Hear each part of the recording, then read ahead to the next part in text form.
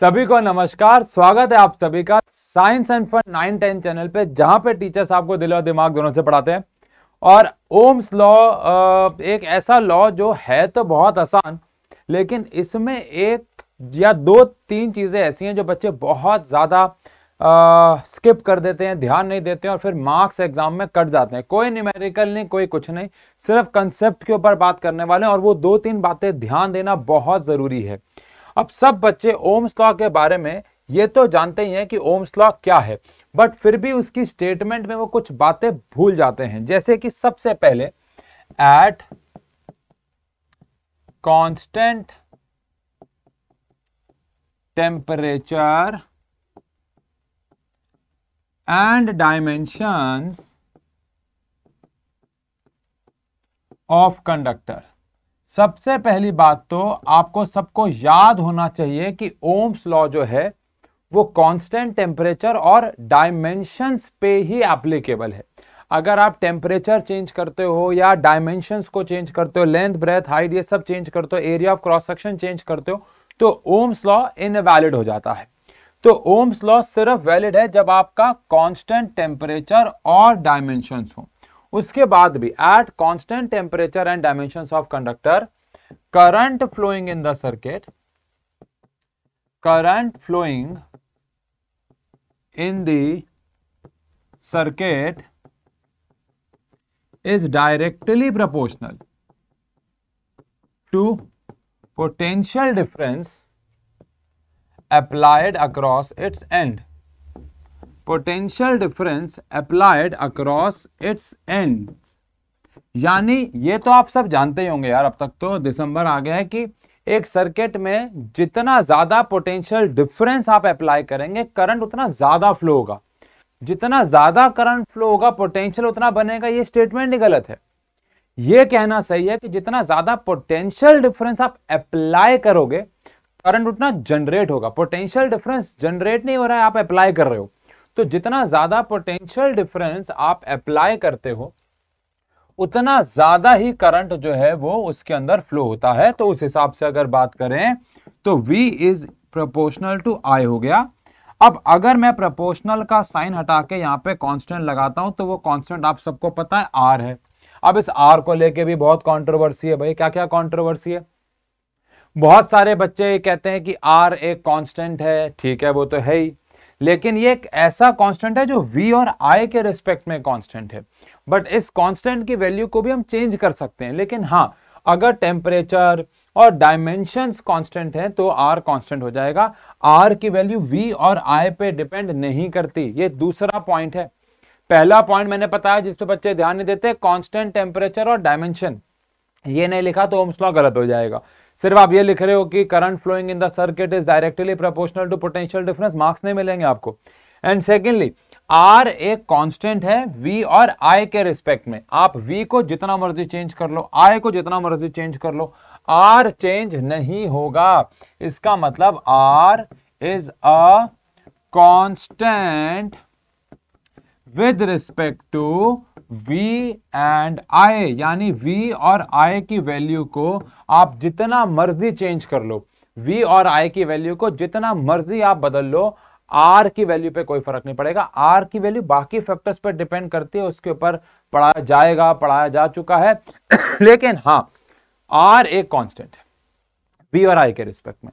But the most important part जहाँ पे सबसे ज़्यादा गलती होती है, वो क्या है?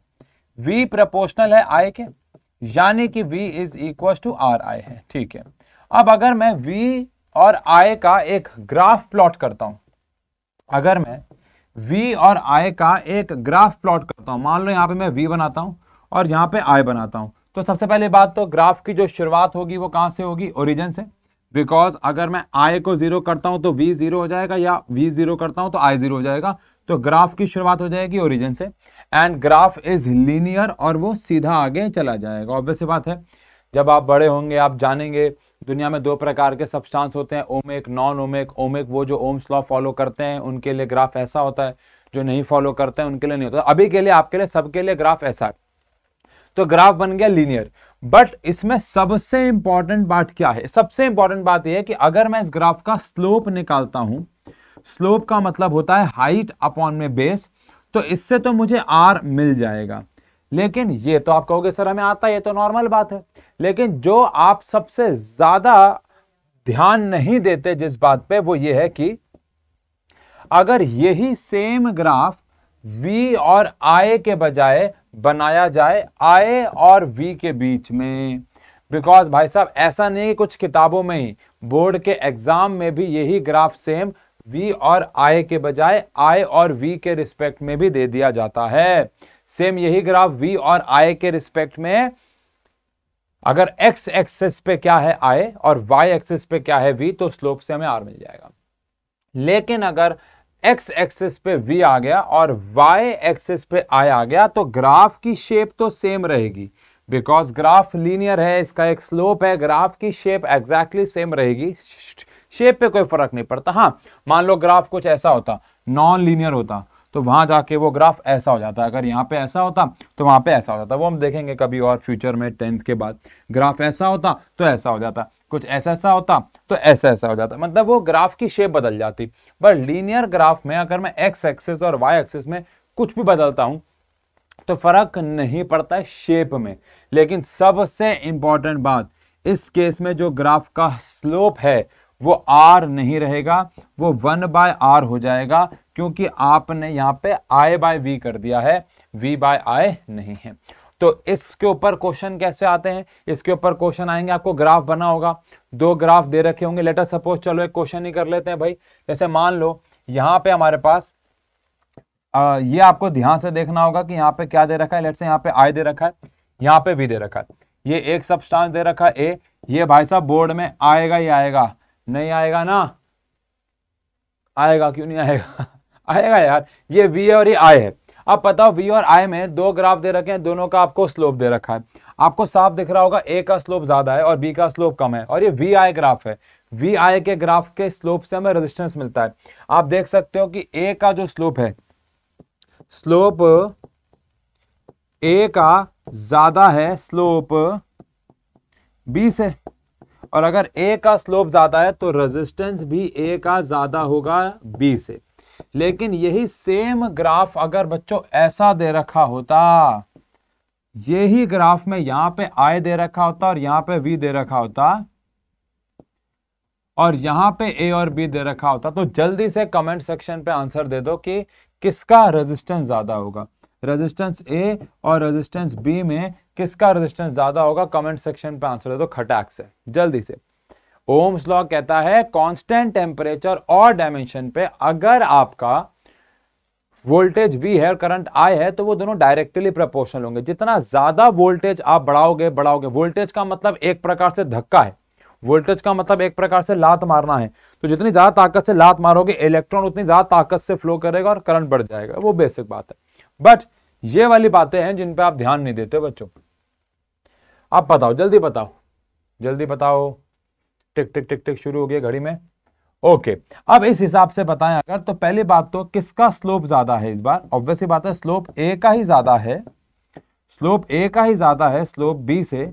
बस फ़र्क यह है कि इस बार स्लोप, इस वाले केस में तो स्लोप आर के बराबर था, लेकिन इस वाले केस में जो स्लोप है, वो वन बाय आर के बराबर हो जाएगा।